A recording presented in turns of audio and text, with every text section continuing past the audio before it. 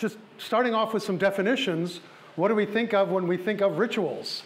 The textbook definition is just a sequence of activities, possibly involving gestures, words, objects performed in a prescribed place and sequence. Uh, this sounds very dry and dull and like things we rejected as hippies in the 60s, right? Um, but it, it may also organize our lives around milestones. We use them and they evolve over generations to incorporate our most important teachings about our communities, about our character. And one important thing is they need to be revised periodically. All rituals that we have, whether it's dating or the church mass, are living, active things. Uh, here are just some examples from baby shower and baptism and first day of school to proposing marriage to weddings to graduations. These are all things that are not just protocols, they're not just things we do, they're things we do that have some underlying metaphor or meaning. That's, I think, the difference between a protocol and a, and a ritual. Uh, going to religious rituals, the Passover Seder is coming up for anybody who cares, uh, and it was just a way for Jews to retell the story of the Exodus and combine it with their actual lives by having significant foods or metaphorical foods and actions that were all bound together. This, of course, uh, became what Christians refer to as the Eucharist, which I love because it comes from the Greek word thank you, Eucharisto.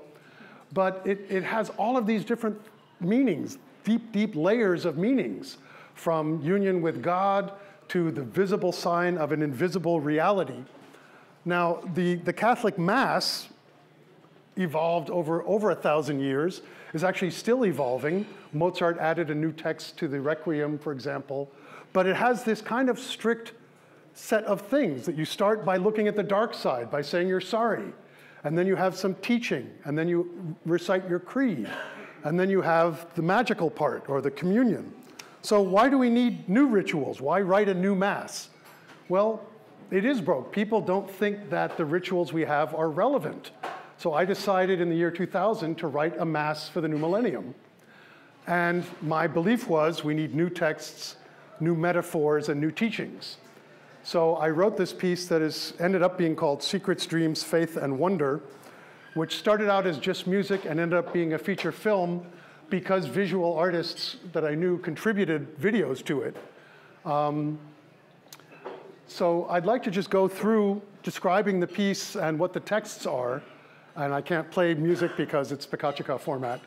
Um, but it's supposed to have a new mysticism and a new way of relating to each other and to our communities in a spiritual way. So it's literally meant to replace the Catholic Mass with something new. Uh, the first movement is called Jerusalem Secrets. So it's what the Catholic Mass called the Kyrie, the saying you're sorry, or looking at the dark side.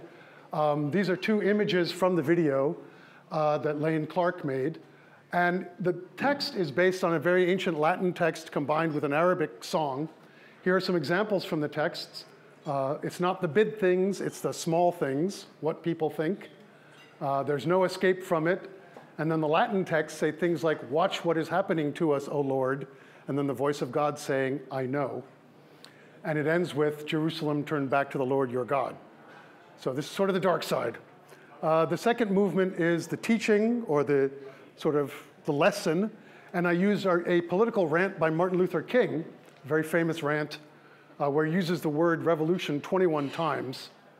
Uh, and it was given, ironically enough, uh, one, one day, one year to the day before he was murdered. Uh, some of his text is, oh, our government and the press generally won't tell us these things, but God told me to tell you this morning. The truth must be told. And he says several times, I can hear God, or God is telling me. Um, but he ends up saying, I'm convinced if we get on the right side of the world revolution, we as a nation must undergo a radical revolution of values. And he unpacks that in great detail. The third movement represents the magic or the mystery or the communion with, with God or with the Spirit. And it's based on a number of different quotes. And uh, one of my grad students, Lance Putnam, uh, spent several years making the video, which was his uh, PhD thesis. And some of the quotes that are used here, which is sort of the new communion, are let your religion be less of a theory and more of a love affair. And we, are, we know that we are made for the transcendent. And you are not a human being, being in search of a spiritual experience. You are a spirit being immersed in a human experience. Uh, for the creed, the, the spoken, agreed upon beliefs, I chose a text that uh, Mohandas Gandhi recorded in 1931. And for the music, I use whale songs. So again, it, the, the, the message here, if anything, is unity with nature and oneness of all life. And Gandhi beautifully says there is an, an indefinable, mysterious power, and it's obviously benevolent because in the midst of death, life persists. I, I, think that is just a beautiful statement. And he ends by saying, I have no argument to convince through reason because faith transcends reason. Uh, the last movement of the Mass is normally the benediction, literally the good word, or they used to call it ite missa est, which means go away, the Mass is over. Um, here I, I, wrote, this is the only piece that is purely instrumental. It's a string quartet with two player pianos. And the video is this artificial nature system developed by two of my students at UCSB, where you can change the rules between looking like biology and looking like cosmology. And so the summary is just, we have rituals and we can choose to imbue them with meaning, or we can choose to ignore them and be nihilists. But I think they, they have reason in our lives, and we can pass on our, our beliefs through rituals by adding meaning and metaphor to the rituals we do in our lives. Uh, this is just to end by saying if you go to heaveneverywhere.com, you can watch a trailer for the film or a 21 minute, one minute short version of the film. Thank you very much.